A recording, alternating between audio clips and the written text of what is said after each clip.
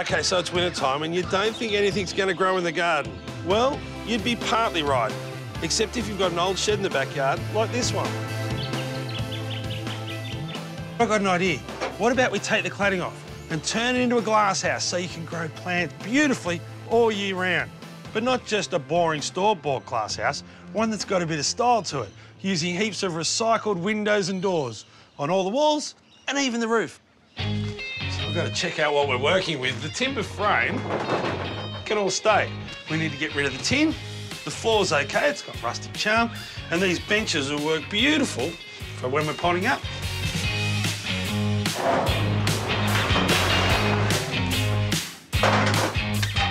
Whatever you do, don't throw out old doors like this. They look a million bucks turned into a table.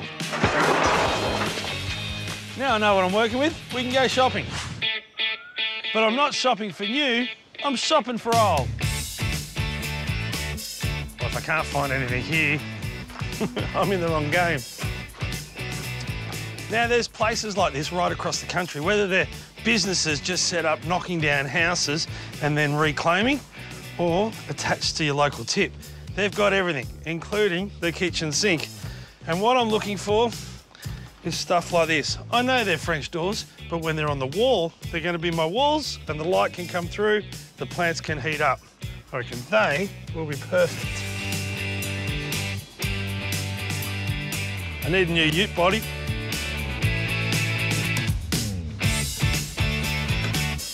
Yes, please.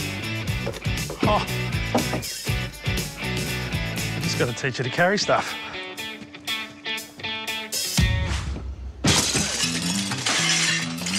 Can't make an omelette without breaking some eggs.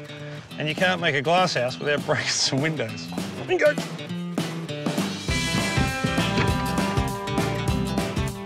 So you couldn't do that if it wasn't broken.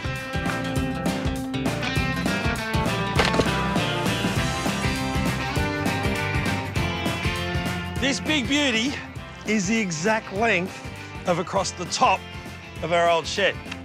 Tommy's put up a couple of posts that are going to use as guides until we get this into place, and then the roof, which we can make nice and safe on the ground, sit on top of it.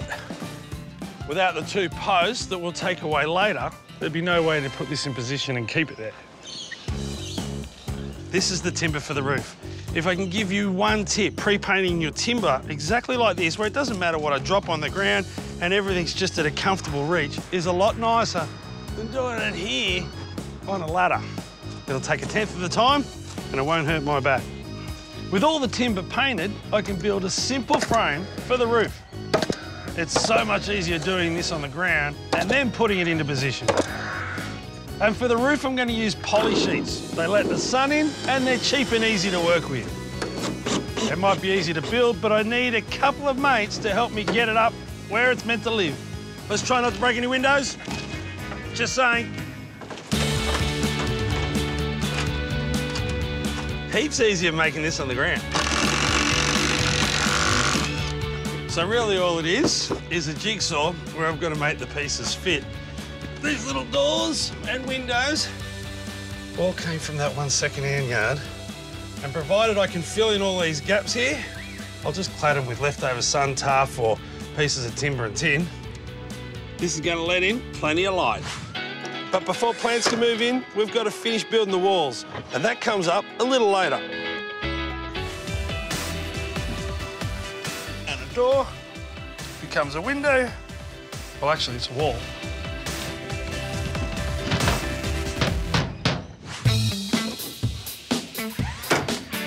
and some old weatherboards that you would never use on a new build or a reno are perfect cladding for where we are going to put a little bit of wall.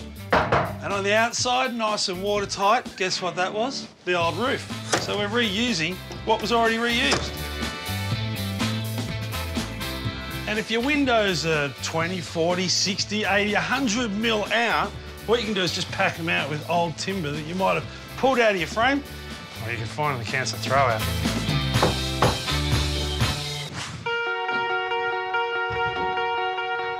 And the old workbench can become a new set of shelves. Finally, I'm going to use a door as a door.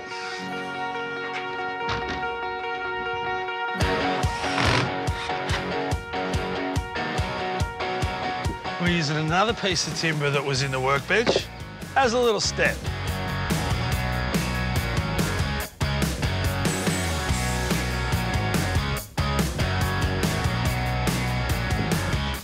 What I like most about having a room like this in the garden is you can broaden the range of plants that you might use. Something like this tropical ginger in this suburb that we're working in just wouldn't survive through winter. They can sunbake behind the glass and not get the cold winds. But the thing I like about these little rooms is you can grow your seedlings on so you can get ready for spring earlier than anyone else in your street.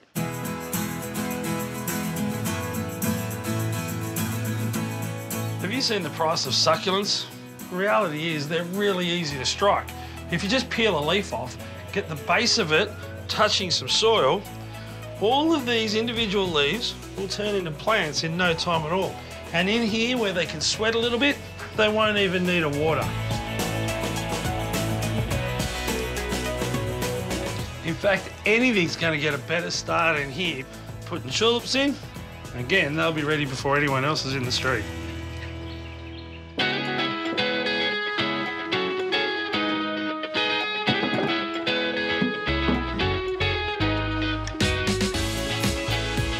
Well, it's not just the plants that are going to enjoy this space over winter.